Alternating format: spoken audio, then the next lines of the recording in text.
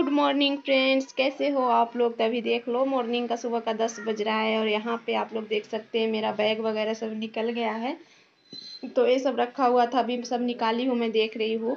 और ये जो बड़ा वाला बैग है, इधर उसको मैं कपड़े में बाँध के रखी थी क्योंकि गंदा हो जाता है, फिर भी ये बहुत गंदा हुआ है। तो अभी इसको तो अभी इसको भी मैं अभी ले जाके छत पे इसको धोऊँगी क्योंकि ये बहुत ही, देख रहे इस पर धूल पड़ा हुआ है, ले जाने लायक नहीं है। नहीं तो मैं उसे सोच रही थी कि अच्छा रहता तो इसी में मैं सामान ले जाती, फिर वहाँ जाके धोती क्योंकि ट्रेन में भी बहुत गंदा होता है। तो नहीं, वैसे नहीं ले जाने लायक है, इसको मैं धोऊँगी। और ये देखिए, ये वाली बैग एक निकाली हूँ। क्योंकि सामान इतना हो जाता है तो बैग, और ये न्यू न्यू है बैग अभी। हमने लिया, उसके बाद से गाँव ही नहीं गए तो ऐसे ही रखा हुआ था, और इसके बाद एक ये बैग है सब निकाल के रखी हूँ।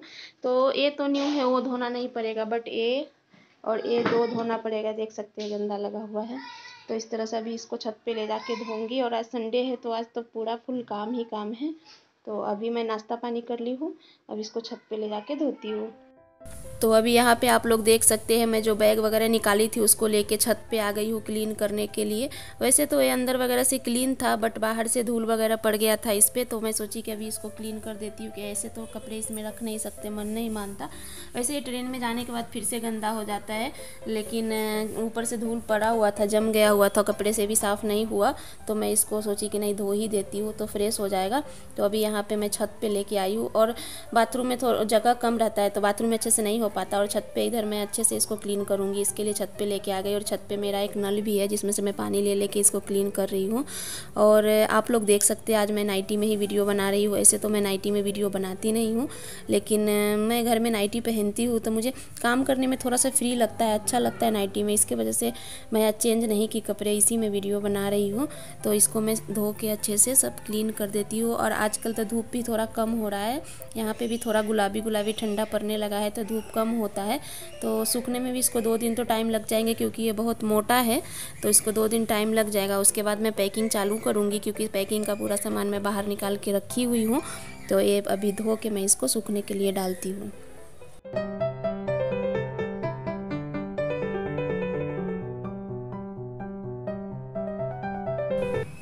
तो अभी यहाँ पे मेरा बैग वगैरह धो के रख दी हूँ तो उसके बाद ये देख लीजिए छत पे मैं यहाँ पे जो मेरा नींबू का पेड़ है, उसको मैं आप लोगों को दिखा रही थी। और ये विशाल है मेरा, वो सूट कर रहा है, मैं उसको बोली थी सूट करो उसका। तो वही सूट कर रहा है। और देखिए कितने अच्छे अच्छे नींबू आए हुए इसमें छोटा सा पेड़ है, बट मैं ख़रीद के लगाई हुई, इसका नर्सरी का नींबू है। तो ये देख लीजिए कितने अच्छे अच्छे और बड़े बड़े नींबू आए हैं बट अभी रस नहीं है, इसमें तोड़ने लायक नहीं है। तो मैं बोली कि आप लोगों को दिखाती हूँ, क्योंकि बहुत अच्छा लगता है। जब भी मैं छत पे जाती हूँ तो बार बार इसको देखती रहती हूँ, झाँकती रहती हूँ कि इतना प्यारा लगता है ना, और कितने नींबू आ गए, कौन बड़ा हो रहा है नए नए कली दे रहे हैं कि नहीं, ऐसा अच्छा लगता है अपने घर पर कुछ भी बाग बगीचा लगाओ और कुछ सब्ज़ी हो, फल हो, ये सब आ जाए तो बहुत अच्छा लगता है, बहुत खुशी होती है।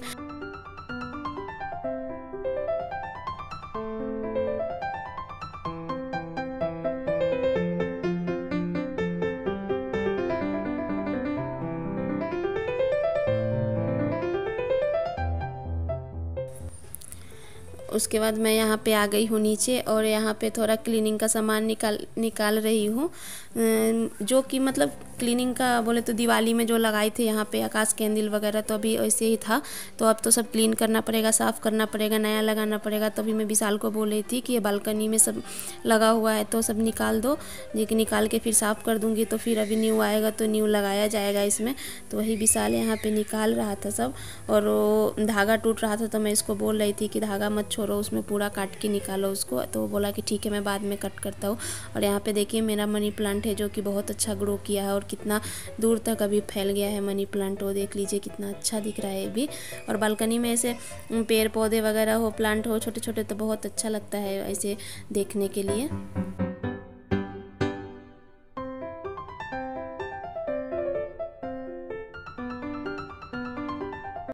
ये देख लीजिए, यहाँ पे तोड़ तोड़ के सारा निकाल के रख दिया है।